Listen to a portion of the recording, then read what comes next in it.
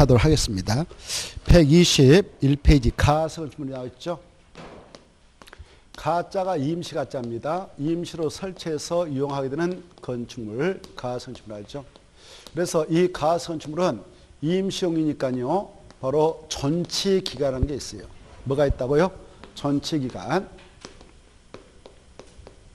그 기간 사용하고 뿌시고 필요하면 아깝잖아요. 그래서 연장해서 사용할 수도 있습니다. 알겠죠?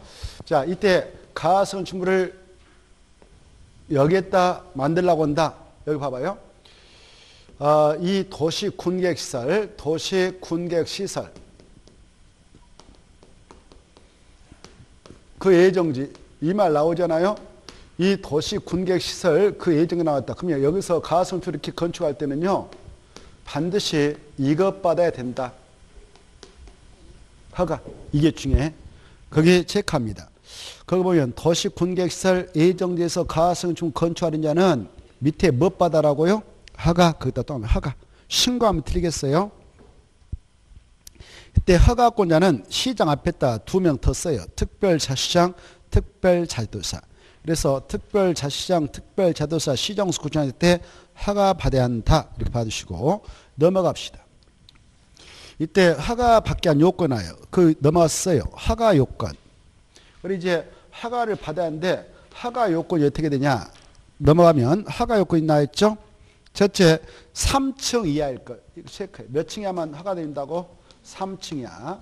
그리고 전치가는 3년이네. 그래야 허가 대상 기억해도 좋아. 숫자는 3층이야, 3년이야. 3년, 전체는 3년이. 3년. 3년 동안 쓰고 뿌시는데 이 사업이 시행될 때까지는 연장을 받을 수 있어요. 못 받을 수 있다?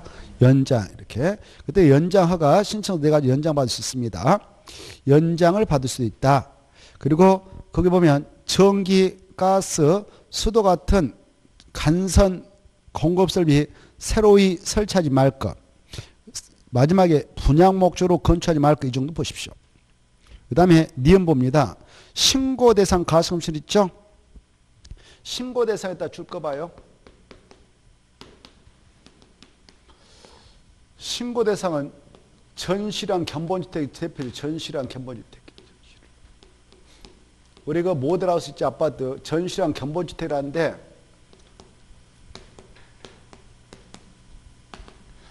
전실한 견본택을 만들라고 한다. 가성심으로서 임시로. 그때는 축조한단 말이에요. 그때 축조할 때는 바로 축조 신고하면 돼요. 신고. 신고. 그리고 이것도 신고하고 축제 때 가성심도 전체는 3년입니다. 3년. 다만 공사용 가성심을 공작물은 공사 완료 때까지 쓸 수 있도록 허용하죠. 그 다음에 밑에 연장을 할 수가 있는데요. 연장은 니은 봐보세요. 전치간을 연장하고자 할 때는 건축주, 가성 건축주는 연장 허가 신청, 연장 허가 신고서를 내면 되는데 허가 대상은 전치간 만료 14일 전까지 허가 신청 내면 됩니다. 신고대상 7일 전까지 이 정도 보시고 그다음에 착공 신고 이 공사에 들어가려고 할 때 세가는 신고하고 들어가야 돼. 허가 받았던 건축물, 건축허가 건축 신고 마친 건축물 건축받은 가성 세 가지만 착공 신고합니다. 나머지 통과하고요. 원어치 동고셔서 2번 안정할 예치금 나와있죠. 이 안정할 예치금은 작년에 기업 그대로 복사해서 함전했어요. 어, 이렇게 아까 이 건축 허가 받았던 건축물, 건축 신고 마쳤던 건축물, 건축 허가 받은 가선축물 이 세 가지 공사 들어가면 착공 신고해야 돼요. 이렇게 착공 신고를 해야 하는데 착공 신고를 했습니다. 아까 허가 받은 것은 몇 년에 공사에 들어가고 했어요? 2년. 2년. 공장은 3년. 신고 대상은 1년. 그렇죠? 1년, 2년, 3년이 정당한 사에서 1년 연장받을 수 있다고 그랬어요. 이 세 가지 그랬죠. 그때 이 기간 내에 안 들어가면 건초를 취소하고 신고요금은 없어진다고 그랬죠. 신고를 면하기 위해서 착공신고 들어갑니다. 근데 착공 신고서를 들고 왔던 건축주에게 야, 너 지금 급한 대로 신고하러 왔는데 너 건축공사 들어가고 나서 공사 중단할 수도 있잖아. 중단하면 공사를 중단하면 현장이 엉망진창되고 안전사고도 발생할 수 있기 때문에 그 해상은 안전조치를 취하고 미관 개선을 해야 되는데 너 해야 한다라고 법에서 의무를 가고 있어요. 이때 의무를 이행하려면 돈 들어가니까 안 할수 있겠죠. 그래서 그래서 야 너 지금 천년부터짜리 공사 들어가겠더라고 신고 들어갔는데 너 믿었지 않아. 그래서 돈 걸고 신고서 낼 테니까 신고증 줄 테니까 바로 너 들어가라 이렇게 할 수 있어요. 그때는 미리 이런 조치에 따른 비용을 미리 예측할 수 있어. 그걸 안정할 예측이라 하는데 예측금을 미리 예측할 수 있습니다.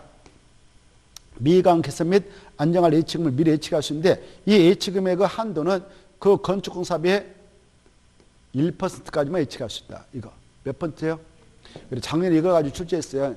여기 가로치고 이거 가로쳐서 가로 안에 들어갈 수치 얼마냐? 1001, 1001 이게 답이었어요. 그래 여기 안전관리 예측할 때 안전했다 체크해.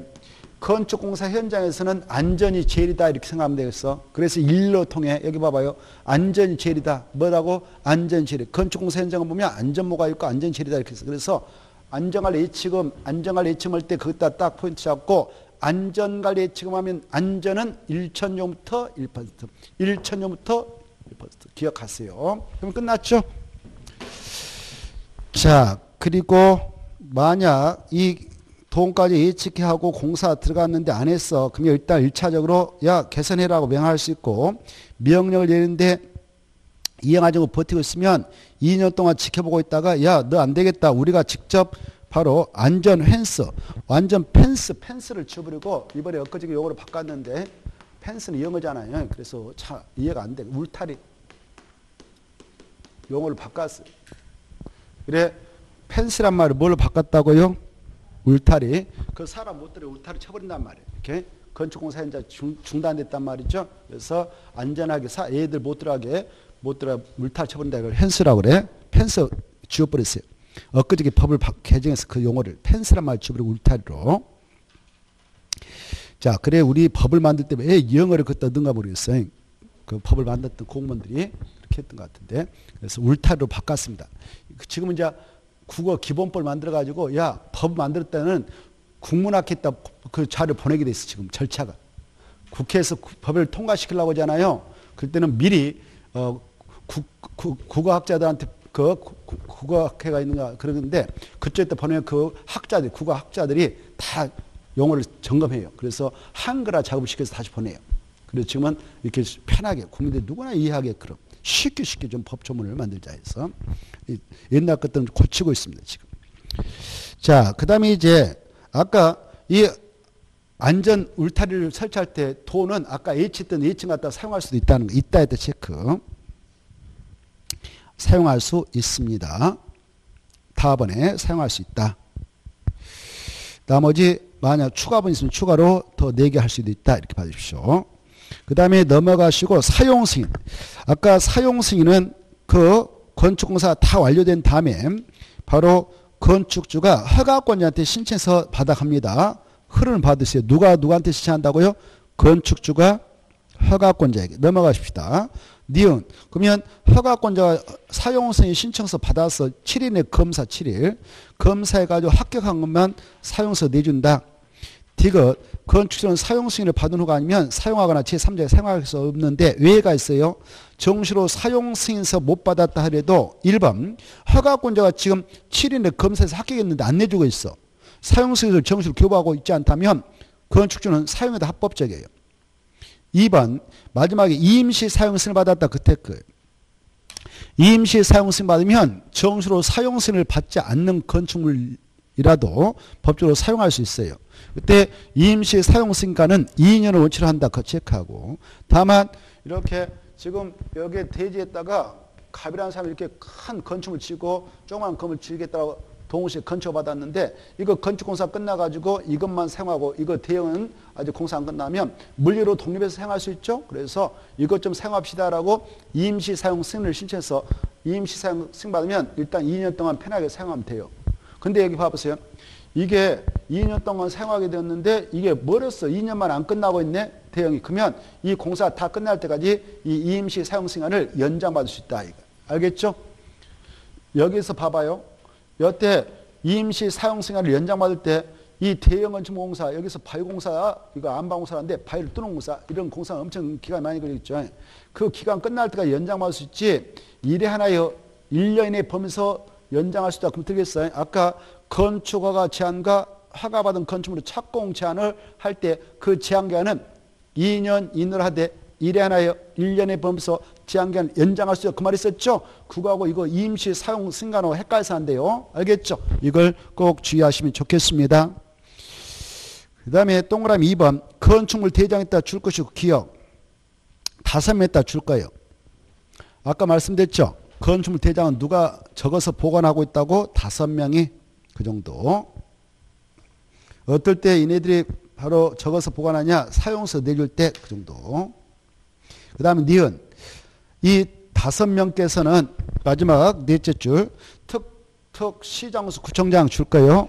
다섯 명 등기 촉탁에서 다섯 명은 오른쪽에 기억 1번, 2번, 3번, 4번 이런 사유가 있다. 그러면 지네들이 건축물 대장상 등록했던 상을 기재를 변경 기재해. 그러면 이 건축물 대장, 이 건축물 있다. 이 건축물 대장은 누가 적어서 기재해서 기재란 말은 한자죠. 그래서 요즘은 적어서 이게, 이게 한글이 한글. 적어서. 적어서 누가 보관하냐 아까 했죠. 특별 자시장, 특별자도사, 시장, 군수, 구청장에 적어서 보관하고 있다고. 근데 이 건축물 대장에는 이 건축물을 소유한 누구다, 이용은 아까 무슨 용도 쓰고 있다, 대지면 얼마다, 건폐 용도 이런 거 다 적어서 보관하고 있거든. 근데 이와 관련된 건물 등기 사항 증명서, 건물 등기 사항 전부 증명서 이것은 어디서 기재 보관하고 있을까? 등기소에서 등기소장. 여기 보면 이 건물 등기 전부 사항 증명서는 서식이 표지부가 있고 갑구란이 있고 을구란이 있죠. 갑구란, 을구란의 관리 내용을 등기해 놓고 있잖아요. 그때 이 건축물 대장에 기재되어 있는 이 건축물에 대한 내용하고 이 건물 등기상 정문 증명서에 그 표지부에 등록 등기되어 있는 사항하고 일치를 가하기 위해서 이것에 등록된 내용이 변경되면 아까 다섯 명이 변경 기자고 반드시 관할 등기소에다가 야 그 건물 등기 전부 사항 증명서 표지부도 변경 등기해라 라고 꼭 촉탁을 해야 돼. 어떤 세가 발생하면 그러냐? 오른쪽에 네 가지 세가 발생하면 등기를 촉탁해야 돼. 의무상 의무상. 과거는 할 수 있다 해가지고 건축물 대항고 이 건물 등기사항 전무증서 안 맞아버린 게 많아요. 그래서 지금은 의무상이다. 거기 보면 하이한다 이겠다 체크 마지막에 왼쪽 페이지. 등기를 촉탁할 수 있다 해야 한다. 그래 의무상이 의무상. 어떤 세가 발생하면 그러냐 오른쪽에 지번 변경이 발생했다 행정의 명칭 변경했다 행정의 변경이 무슨 말이냐면은 옛날에 세종특별자치로 되기 전에 충청남도 연기군 그랬어. 그러면 그 행정의 세종특별자치로 바뀌었잖아요. 그러면 건축물 대장 다 변경 기재하겠죠. 그리고 등기소에 있는 그것도 바꿔야 되겠죠. 그때 이런 것들 건축물 대장 다 바꾸고 그걸 톡탁해야 돼요. 자 지번 변경, 행정의 명칭 변경, 그 다음에 두 번째 사용 승인 받은 건축물의 사용 승인 내용 중 건축 면적 변경, 구조 변경, 용도 변경, 충수 변경, 그 다음에 건축물이 해체됐다. 그러면 건축물 대장 말소하겠죠. 그리고 등기소에 있는 것도 멸실 등기한다든가 그래야 되겠죠. 그 다음에 바로 멸실 신고를 한 경우 이렇게 돼 있네요. 그런데 왼쪽 페이지 봐봐요. 다시 이후의 신규 등록은 죄된다. 이것 때문에 보고 있어요. 이것 때문에. 무엇은 죄된다? 신규 등록은 등기 촉탁을 해야 할 대상이다. 아니다. 아니다. 그 말이. 그것 때문에 보고 있어요.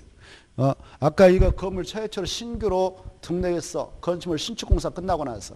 그때는 건축물 소유자인 건축주가 알아서 소유권 보여드기 치든 말든 하지 등기 촉탁을 해서 소유권 보여드게 해줄 필요는 없다. 이겁니다.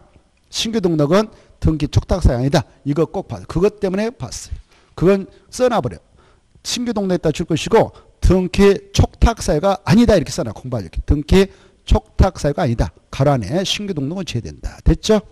예인축 페이지 가로 안에 있는 거. 자, 그 다음에 넘어가셔서 126페이지 보면 건축자안에서 도로가 나오고 건축세 나오고 대지 안에 적용 뭐 이런 게 나오죠.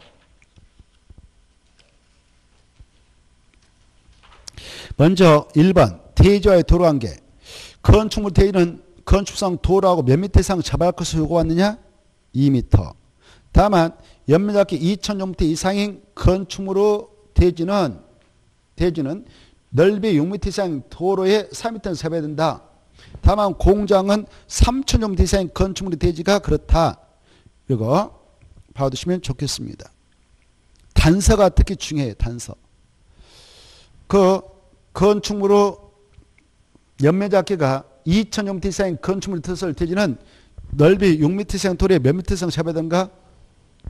4m. 공장인 것은 얼마가 그 기준이 됩니까? 3천.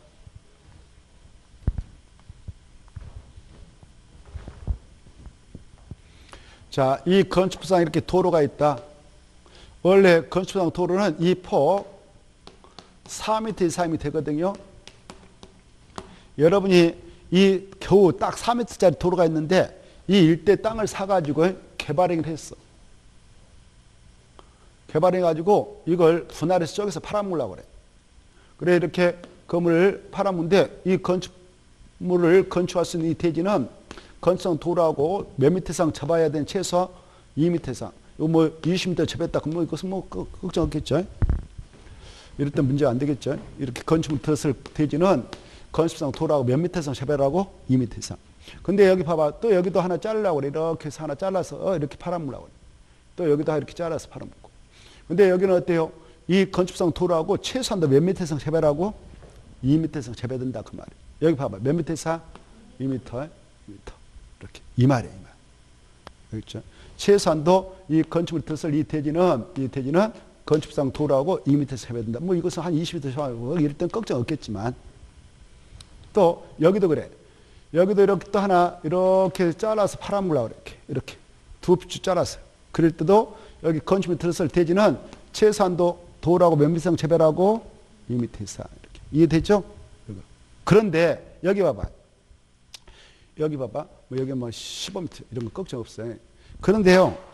이 건축물이 이 건축물의 연면적 합계가 연면적 합계가 연면적 합계가 2천 종터 미만일 때 그렇단 말이에요. 몇 종터 미만일 때? 2천 종터 미만일 때는 2m만 쳐면 돼. 근데 이 연면적 합계가 2천년대 이상의 건축물이 들어가게끔 이 대지를 분할해서 팔아먹으려고 한다. 큰 건축물 들어가게끔 하려고 한다. 이렇게. 그럴 때는 이 상태에서 안 되겠죠. 넓이 4m밖에 안 되니까 여기 바로 2천년대 이상의 대지는 건축물 못 들어가겠죠. 그렇죠? 만약 2천년대 이상인 연면적 합계, 연면적 합계 2천년대 이상인 건축물이 들어갈 대지를 자를 때는 넓이 6m 이상 도로에 6m 이상 돌에 몇 미터 이상 자박 잘라야 돼? 최소한도 4미터 이상 자박 잘라야 돼. 여기에 들어갈 이 겨우 아까 2미터밖에 잡아고 있지 않다. 도로 4미터짜리에 그러면 여기가 아무리 건물 크게 돼도 2천미터가 최고예요. 몇 천미터가? 2천이? 2천미터 미만으로 해야 돼. 그래 이상짜리가 들어가면 몇 미터 이상 잡아야 돼? 최소한도가 4미터 이상. 연매작게 2,000m 이상인 그런 대지는 3m 이상 재배야 되고 넓이가 6m 이상 재배야 되거든. 6m 이상 돌에 3m 이상 재배야 돼. 그래 여러분이 개발해가지고 크게 잘라서 팔아먹으려고 한다. 그때는 어때요? 여기 아까 이런 경우면 여기는 2,000m 미만밖에 못 친다 생각하면 돼요. 공장으로 용기로 팔아먹는다. 그러면 공장은 여기다 3,000m 미만까지는 질 수 있어.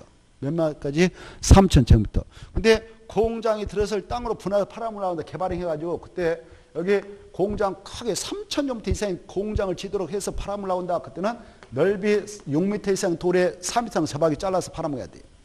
겨우 4m짜리밖에 없다. 도로가. 그러면 어때요? 그냥 아예 큰 공장에 들어설 땅은 없다 생각하면 되겠어요. 몇몇 작게 3천년 이상의 공장에 들어설 대지는 없어요. 이런데. 그거 알아두세요. 다시 한번 정리하겠어. 여기 봐봐요. 여기 봐봐. 연면적 합계 2,000조미터인 공장의 대지는 넓이 6m 이상 돌에 4m 이상 잡아야 된다. OX. 그렇죠. X죠. 그때는 몇 미터인 돌에 몇 미터만 잡아도 돼? 4미터인 넓이 4미터인 돌에 2미터만 잡아도 돼. 그때는 얼마 공장 얼마 이상일 때부터 넓이 6미터짜리하고 잡아고 있어야 된다. 3천 좀터 이상인 그런 공장에 들어설 대지 때만 넓이 6m 이상 돌에 바로 4m 이상 접하도록 요구받는다. 2,000제곱미터짜리가 공장에 들었으면 넓이 6m 이상 도로 필요 없어. 알겠죠? 4m짜리가 있고 2m만 접어도 된다. 이렇게 이해하시면 좋겠습니다. 그거 아주 중요하니까 이해를 해주시고요. 그 다음에 이제 건축선을 보죠. 건축선. 이 건축선이라는 것은 도로하고 잡아고 있는 대지 안에서 건축물을 건축할 수 있는 한계선인 그 선을 규제하고자 하는 것인데 자, 이 건축선하고 연계시켜서 우리는 바로 대지 면적 계산까지 연계해서 공부를 해둬야 돼요. 그래 대지 면적이라는 것은 원래 이렇게 대지 면적이 있다 그러면 이 가로 곱하기 세로에서 대지 면적 계산하면 되겠죠? 이걸 대지 수평 틈이라는데 그런데 대지 안에 건물을 지을 때 위해서 건축사가 그렸다 그러면 이 건축성과 도, 여기 도로가 있다. 그때 이 도로와 건축사 있는 이 대지 부분은 전체 대면적 계산할 때 포함되는 경우가 있고 제되는 경우가 있어요. 이런 것들을 생각해 봅시다. 알겠죠? 자, 먼저 이 건축선은 도로하고 접어가 있는 대지에서 대전에 도로 쪽으로 건축물을 지상에서 건축할 수 있는 한계선을 규제하고자 하는 제도로서 도로교통 원함을 도모하고자 이걸 적용하고 있는데 이 건축선이라고 하는 것은 반드시 이렇게 도로하고 접하고 있는 대지 안에서만 적용한다. 그래서 여기 보십시다. 이렇게 대지가 있고 대지가 있다. 여기 사이에 도로 없다. 도로 없다. 그래서 여기서는 건축성이 발생하지 않는다. 건축선 적용하지 않는다. 알겠죠? 그리고 여기 또 도로가 있다. 도로가 있고 그리고 또 여기 이렇게 경사지가 있고요. 경사지. 도로가 있습니다. 뭐 하천이 있다. 아니면 철도가 있다. 아니면 선로가 있다. 도로가 있다. 대지가 있다. 그리고 전 국토 이렇게 생겼는데 도시적이 있고 관리적이 있고 농림이 있고 재는 보존이 있다.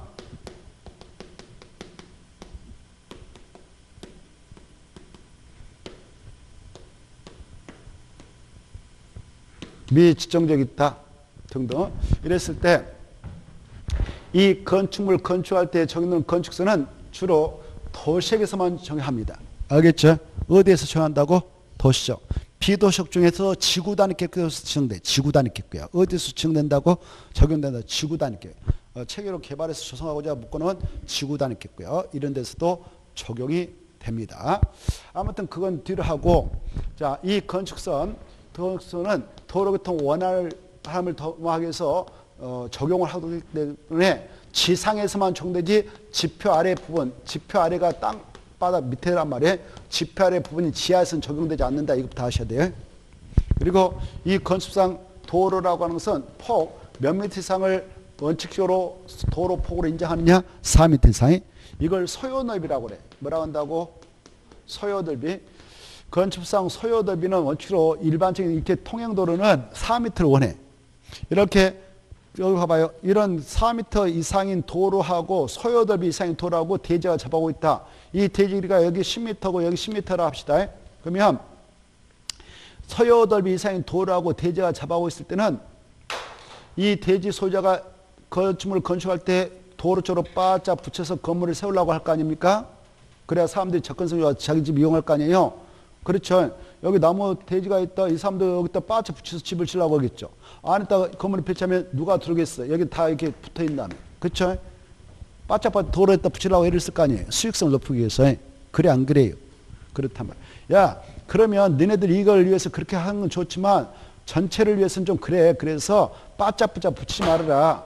이 도로와 대지 경선 이 선을 건축설 하겠다 이렇게 하고 있네요. 이렇게. 그리고 이 건축선을 기준해서 일정한 거리 안에 다가 건물을 또 배치하게 됩니다. 그걸 대지하는 공지규정이 따로 있어. 그건 시험에 안 나올 가능성이 나놓고 아무튼 바짝 붙이지 못해요. 바짝.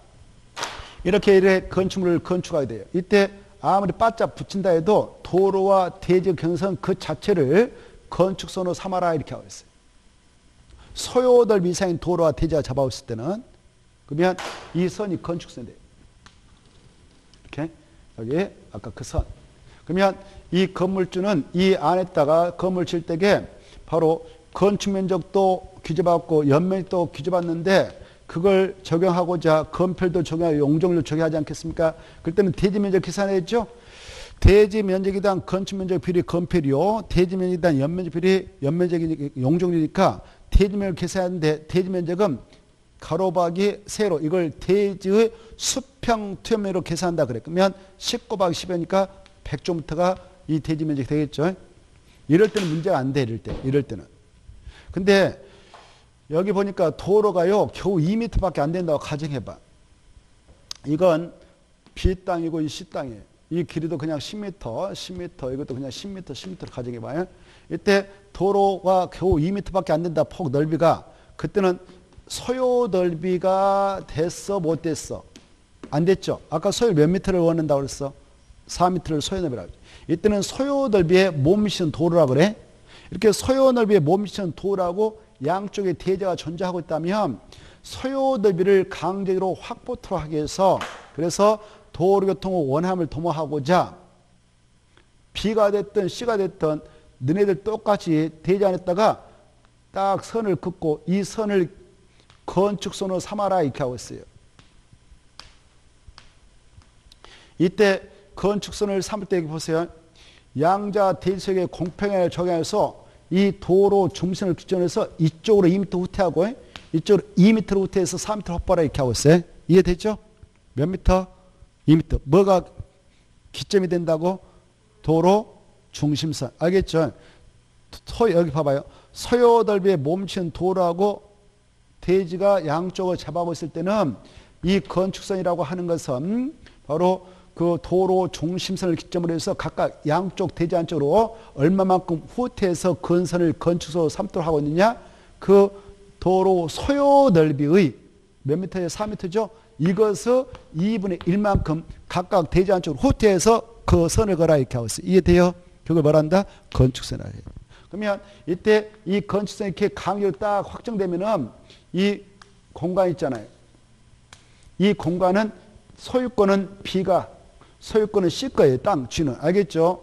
소유권은 이렇게 가지고 있는 법적으로 이 소유권이라고 하는 것은 여러분 이제 공부하셨으니까 아실 거예요. 소유 권리를 소유권이라고 소유권, 이런 소유 권리 속에는 세 가지 권능이 있어. 사용 권능, 수입 권능, 처분 권능이 있거든.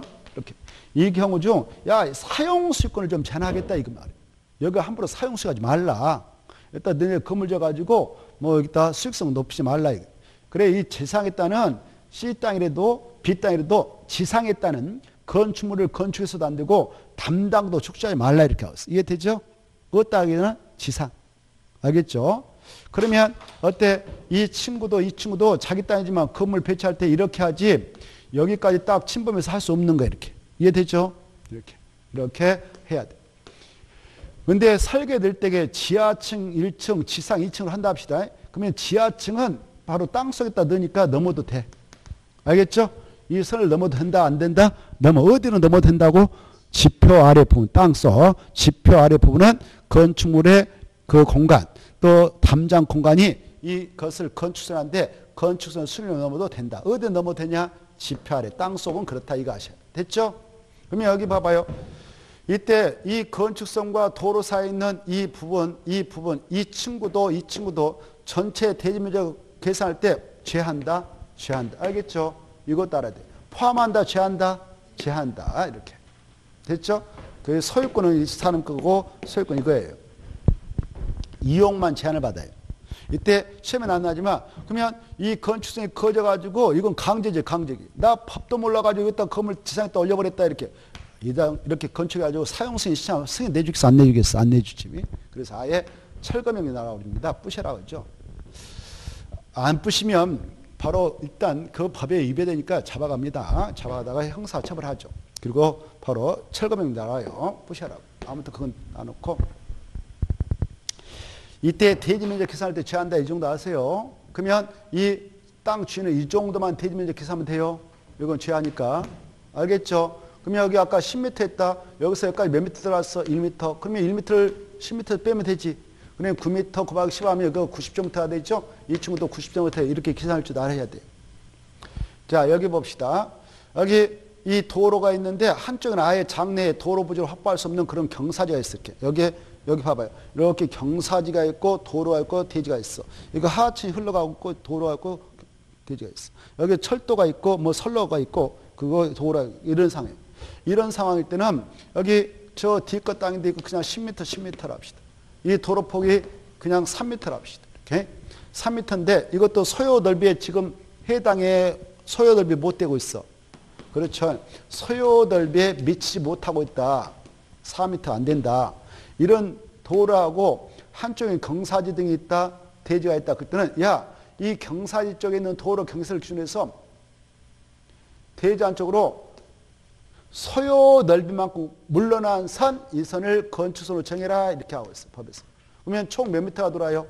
4m. 여기서 여기까지 몇 미터 들어요? 1m. 그러면 이 건축선과 도로 사이에 있는 이 부분의 면적은 전체 대지면 계산할 때 포함한다, 제한다?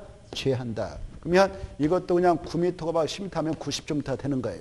그리고 여기다만 건물을 배치하지 이쪽으로 하면 위반이 된다. 알겠죠? 지하는 넘어도 되고요. 자, 담장을 여기다 축제도 안 돼요. 담장 건축 지상에는 안 된다. 이렇게 알아주십시오. 이해되죠?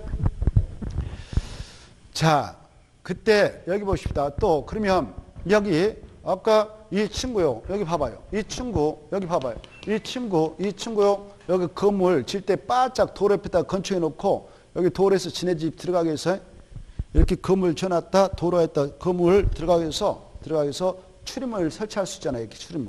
뭘 넣을 수 있다고? 출입문. 이런 걸 봐봐요. 출입문, 출입구 같은 창문을 살 수 있어요. 여기다. 근데 여기가 도름이 있다. 지상 4.5m 이하에 있다. 설치할 수 있는데 설치를 해서 이용을 하면서 이렇게 열고 닫을 때 건축선이 거졌다면 이 선을 넘는 구조를 해서 안 돼. 왜? 오가다 이렇게 열고 닫다 이렇게 했는데 이걸 세우는 것이 수직면이거든. 건축선이 있다. 건축선이 수평으로 거졌다. 그러면 세우는 게 수직면이야. 이 선을 넘는 구조로 창문과 출입문을 설치해 놓으면 열고 닫을 때 차가 오가서 받아버리잖아요. 그래서 교통을 방해할 수 있으니까 도로면을 기준해서 높이 4.5m 이하의 출입구 창문 같은 구조물은 열고 닫을 때 건축선의 수준을 넘는 구조로 해서는 절대 안 된다는 거. 몇 미터 이하요? 무엇을 기준으로 해서 4.5m라고요? 도로면, 도로면. 도로면, 이말 중에 도로면 기준해서 4.5m 이하의 출입구 창문 같은 구조물은 열고 닫을 때 건축선 수준을 넘지 않는 구조를 만들어라. 이렇게 규정합니다. 받으시고. 그게 중요해요. 거기에 있죠? 디귿의 내용하고 가나를 잘 받으세요. 가나. 가나. 가나. 가나가 어마어마하게 중요해요. 디귿에. 디귿에. 그 다음에 니은 하나 볼까? 니은은 이거예요. 봐봐요. 니은은, 자, 니은은 이거예요. 이 도로가 이렇게 있어요. 도로. 도로가 쫙, 여기 봐보세요. 도로가 도시적 관리 농림 자연펀을 관통하고 있어. 관통. 관통하고 도로인데 이 도로 넓이가 상당하네요. 이렇게. 4m 이상이 있어. 그런데 도로 주변에 땅 주인들이 있어요. 여러분 땅 주인이라고 하죠. 그러면 서요 넓이 이상인 도로하고 대지가 잡아오고 있으니까 도로와 대지 근선 이 선을 건축 삼아서 바짝바짝 건물을 지어도 되지 않겠습니까? 이렇게. 그렇죠? 근데 우리 법에서 야, 이 지역을 관하고 특별자치시장, 특별자치사, 시장, 군수, 구청장은 비록 서요 넓이 생 도로하고 대지가 잡아오고 있어도 시가 정비, 환경을 정비할 필요가 있다. 그럴 때는 도시적인 지역에 한해서만 찾아요. 무슨 지역에서만? 도시적 안에서만 건축성을 대하였다 별도로 지정고시할 수도 있다. 이렇게 하고 있어요. 무슨 지역일 때만? 도시적. 몇 미터까지 봐보세요. 여기서 그 도로 경사 몇 미터까지 후퇴해가지고 4미터까지. 여러분, 여름 땅 주인들 막 얘네들이 건축을 걸때 여기다 푹 집어넣어 막 20m까지 들어가죠. 여기 건축자 여기만 어, 너네들 이용해라. 여기 못 진다. 그러면 성질할 거 아니에요. 지들 마음대로 해버리면. 그쵸? 그래서 최대 몇 미터까지 후퇴해서 건축을 걷다고 4미터. 알아주세요. 숫자 알아주세요. 무슨 적일 때만 이거 한다고? 도시죠. 비도시 안 돼요. 비도시 안 되고 도시일 때만 그렇게 할 수 있는 권한이 있어. 몇 미터까지만. 그래 이제 4미터 기억하셔. 그러면 어떻게 기하냐? 여기 봐봐. 도시적은 4자니까 4미터. 도시적은 4자니까 4미터까지 후퇴해서 건축을 걸 수 있다. 그러면 여기 봐봐요. 이렇게 건축성이 이네들에 의해서 딱 지정호시에 딱 건축에 심을 거쳐서 딱 지정호시 났다 그러면 이 건축성과 도로 사이에 있는 대지 면적 있잖아요. 여러분 이 땅 주인다 그럴 때는 이 건축성과 도로 사이에 있는 이 대지 부분은 전체 대면적 계산할 때 포함하냐 제하냐? 이때만 포함한다 이게 중 이때만. 아까 여기는 다 봐봐. 여기는 서요덜비에 몸신 도로인 2m 3m 3m 못 돼서 강제로 후퇴해서 건축성을 걷죠. 그때는 건축성과 도로 사이의 대지 부분은 대지 면적 계산할 때 취한다고 그랬죠 근데 이것은 소요 넓이 이상인 도로하고 잡아고 있는 대지지만 시가 정비를 위해서 이네들에 의해서 별도로 딱 지정된 건축선이에요. 이때 이 대전의 건축성이 거졌다 하지만 이 건축성과 도로 사이에 있는 이 대지 부분은 전체 대지면 계산할 때 이때만 포함한다 이렇게 이때만 이해돼요? 이때만 포함한다 꼭 알았어요? 이해가 됐으면 좋겠네요. 여기 보시봐 또 여기 봐봐요. 여기 봐봐. 이제 금방 이 자들이요 다섯 명 지네들 지역에서 시가 정비 차원에서 도시일 때만 않던 건축을 거기서 묶어버릴 수 있다고 그랬죠. 비도시 안 된다고 그랬죠. 왜냐면 비도시는 뭘 가지고 또 어? 도로 안전을 확보하고 교통 원활함을 더하고 있냐. 도로법에 하면 접도구역 지정에 관한 규정이 있어요. 접도구역 지정. 건축 도로법 제40조에 근거해서 도로 주변에 있는 땅에다. 야 여기 건축물 건축하지 마. 여기 함부로 건축하다 보면 도로 집안 약화시켜서 도로가 붕괴되고 붕괴되면 안전사고 터져. 그래서 여기는 개발 못한다라고 막을 수 있는 구역을 접도구라고 그래. 뭐라 한다고요? 접도구역 이 접도구역은 도시약 안에 따는 적용하지 않기 때문에 도시에서는 지정하지 못하고 비도시에 있는 도로권만 지정할 수 있다 이렇게 하세요. 이해돼요? 다시 한번 도로법상 접도 구현한 규정은 무슨 지역에서는 적용하지 않는다? 좋습니다. 비도시만 조한다. 이제 꼭 알아시고 그래 이 도로법 제40조 따른 접도구역 지정한 규정은 비도시에 따만 적용해서 지정할 수 있는데 이건 이제 참고로만 알면 되고 몰라도 돼. 이때 일반 도로는 접도구를 지정할 때 이 도로 경사 기준에서 몇 미터까지 후퇴해서 접도를 지정할 수 있냐? 5미터. 고속도로는 20m까지 후퇴해서 접독을 묶어놔버릴 수 있어. 그러면 접독에 포함된 땅은 자기가 소유권자라도 개발이 못해요. 알겠죠? 건축, 건축, 공약을 설치, 토지 흥병을 하고 안 내줘 버려요. 그러니까 이런 땅 사면 되겠어, 안 되겠어? 안 돼, 안 돼. 헛방이야, 이거. 알겠나요? 이런 안목을 기해서 우리가 공법 공부하는데 멋 모르고 그냥 먹 산다, 싸다고 산다, 속 터져버리죠. 중개사가 돼가지고 이거 사라 사라 권하면 더 속 터져버리죠. 자, 접독으로 묶이면 개발행위 할 수 있다 없다? 없다. 접독은 무슨 때만 지정할 수 있다? 비도시요. 오케이. 그 정도는 중개사 힘을 알아야 돼요.